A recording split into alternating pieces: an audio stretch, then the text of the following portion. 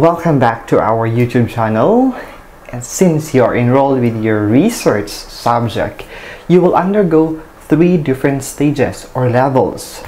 So what are these levels? Of course, you have the level 1, that's the title defense. The level 2, this is your proposal defense or this is, is the chapter 1 defense. And the final part or level 3 is the final defense. The success of your level 2 and 3 is dependent on your success with your title defense. It is important to remember that for the title defense, you need to have a plan. You need to have, you need to prepare for it and you need to make sure to have a guide.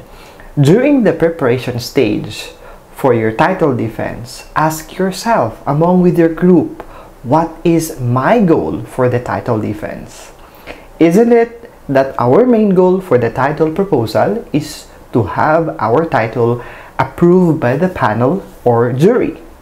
For the process, of course, you have to answer all the questions from your panelists, clear and very smart. And we need to strategize how? Of course, by preparing. That's why you're watching this video because you wanted to, to be prepared.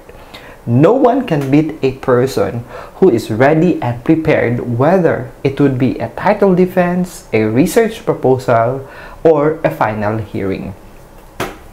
And on this learning blog, we will talk about possible questions that your panelist might ask you and some tips on how you can answer these questions. Most of the time, students don't show a lot of effort during the title defense.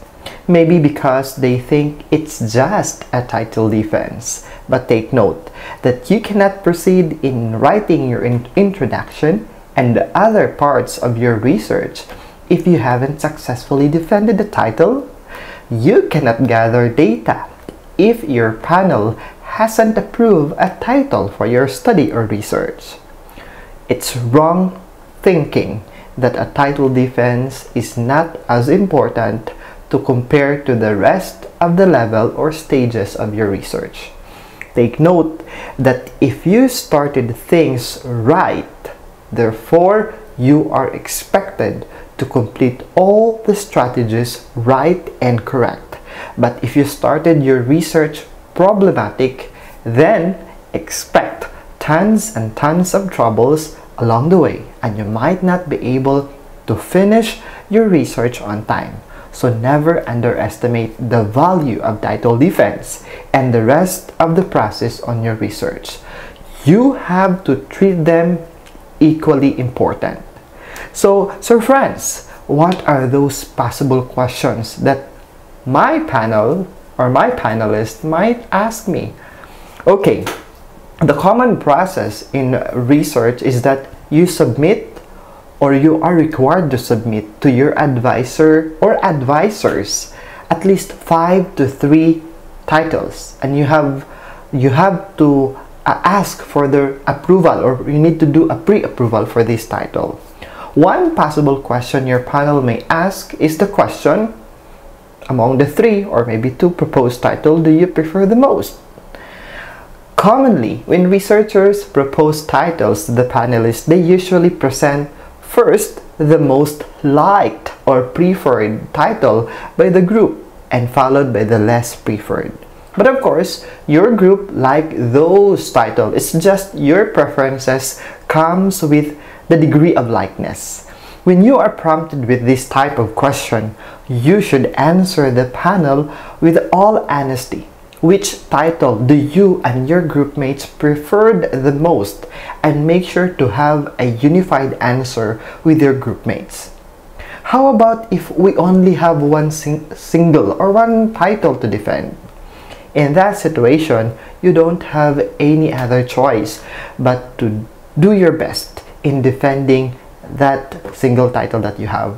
Explain the best way that title is a good title for your research and answer all the questions from your panelists with clarity and straight to the point. Second, the second possible question that your panel might ask you is What problem prompted you to propose such study? With this question, your panelist is giving you the opportunity to explain where are you coming from? What is your inspiration with your title? What is your kumbaga hugot for this title? They wanted to know the deeper reason why you have chosen these titles or topics. You should be able to answer this with clarity again so that your panelist will be able to connect what are you trying to convey to them with regards to the topic or title that you are proposing. Never answer your panelist with the answer like, It's just my choice. Gusto lang po. Ganahan lang nako in any among title. Or else, you are putting yourself in a trouble. Understand and analyze within yourself and among with your team what's the best answer for this question. Dig deeper into why you have chosen to propose this title.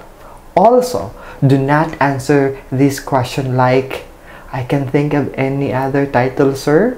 Wala na po akong ibang maisip. Sir, ma'am, uh, wala dyan mahunahunaan. You should be very careful with your answer and never answer your panel that way or else your title will surely be disapproved. Third, the third possible question is what do you mean by this word or words you have used in your title? Like, for example, what do you mean by contactless transactions? What do you mean by cryptocurrency? What do you mean by motivational factors? Whatever words you have used in your title, it is a must that you should be able to explain the meaning of these words or phrases.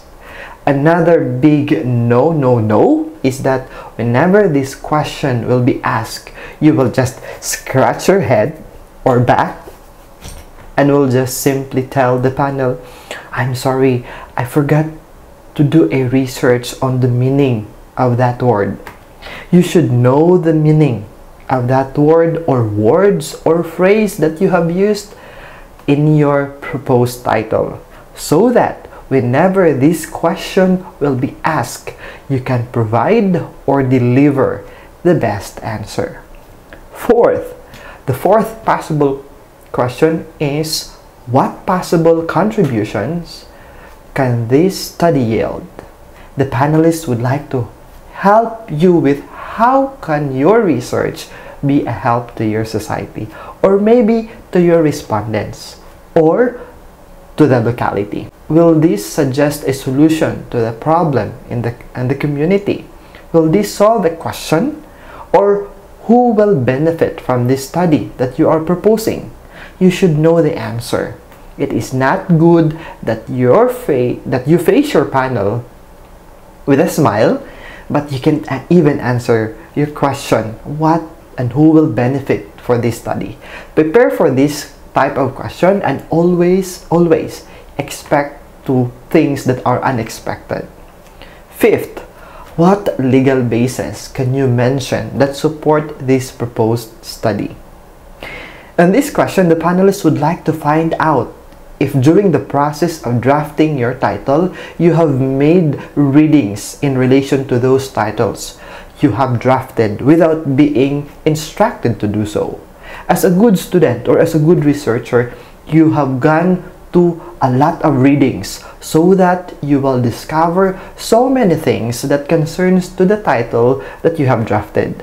That's why in my research class, I have asked my students or I have asked you, dear students, to create and submit gap analysis and review of related literature so that you will be forced to scan deeper or dig deeper related studies, related literature, legal basis, conceptual framework, and so many others so that you would know if this title you are proposing is relevant and at the same time you will discover how other researchers drafted the research and the contents of their studies. This will also open your mind to so many realization in relation to your proposed title. With this type of question, you must be able to mention Republic Acts, RA, that concerns or relate to your title. Mga batas, mga balaod. Sixth, what theory can you anchor for this topic or title? You must answer your panelist with theories that will support your topic look into your topic or title and understand the best theory or theories that will support the title you are proposing. Say for example, your topic deals with customer satisfaction or maybe marketing strategies. You can make use of AIDAS, A-I-D-A-S, theory of selling or attention, interest, desire, action, and satisfaction. Another example, if your topic is about employee performance, employee performance evaluation or related topic to that one, you can present the theories like motivator hygiene theory, job characteristic model, or maybe dispositional theory. You should and must prepare at least two to three theories that you can present to the panel that supports the topic or title you are proposing. Now you have to understand, or if you have observed from the start, from the first possible question to this present, the sixth, that when you face your panelist, it's not just merely the title that you will bring with you. Just like a good soldier, you must be in full battle gear. Or just like a student, when you bring your baon, you just don't bring rice alone. But along with the rice is your viand or your sudan. And along with the viand is your water. And not only that, you should also bring your spoon and fork. The same with the title proposal. It is not just the title alone that you will bring with you. And before you face the panel, you should have gone through a lot of readings, readings, readings, and readings. Alright, so that's just the part one of those possible questions and how you can answer these possible questions during your title hearing or title proposal. I hope so. This will help a lot in your end to be ready and be prepared to face your panel and have the title approved and of course I know you are interested and it how how how overwhelming it is to hear your panelists to say congratulations and this is your approved title. That's it for now. Do expect the part 2 of this vlog.